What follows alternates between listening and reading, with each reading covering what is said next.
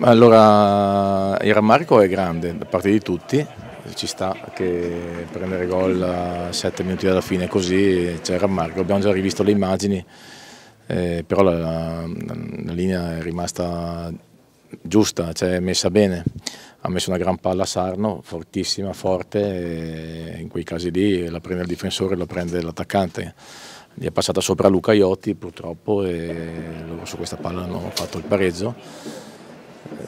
nell'analisi della partita bisogna dire la verità che noi il primo quarto d'ora 20 minuti siamo stati in balia di loro, nel senso che siamo stati molto timorosi, molto, molto poco aggressivi. Il Catania ha palleggiato molto bene e quindi noi abbiamo perso 20 minuti di partita, però obiettiv obiettivamente poi la partita l'abbiamo recuperata, l'abbiamo messa sul nostro binario, abbiamo creato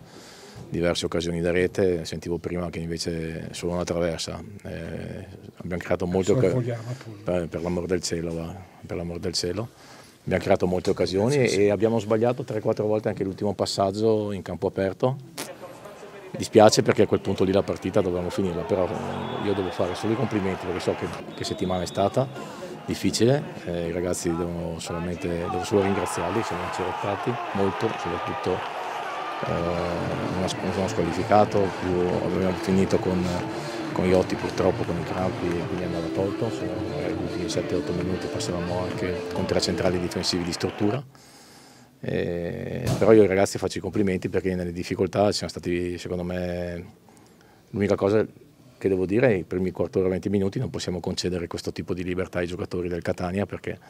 non solo quelli del Catania, qualsiasi squadra perché sono stati eh, molto morbidi l'inizio l'impatto della partita. Eh, noi non è che delle volte ci inventiamo di partire piano per poi finire forte, ci sono anche gli avversari, probabilmente l'avversario ha avuto eh, la, eh, l'inerzia della partita prima di noi, noi abbiamo fatto fatica ad accorciare con le mezze ali, poi invece sia Pedro, soprattutto Pedro all'inizio e, e a ruota Mimmo sono riusciti a ad andare in avanti con, con, gli, con, le punte esterne e quindi siamo riusciti a trovare anche una, una maggiore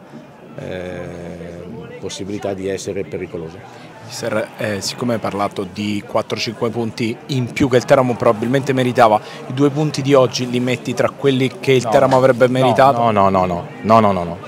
no, no, la partita oggi potevamo vincerla, potevamo anche perderla, però ecco, nel, nel, nel, nel complesso della partita a quel punto lì a 10 minuti dalla fine fai gol, è normale che pensi di portarla a casa, però ripeto, io non voglio guardare mai indietro, devo guardare in avanti, eh, eh, ripeto, metto, ci metto la faccia sempre perché sono il responsabile di tutto quello che succede, eh, quindi devo lavorare di più ancora e cercare di portare questa squadra a fare ancora meglio sul piano dei risultati. Sulle prestazioni, eh, secondo me nelle ultime 14 ne abbiamo sbagliato poco.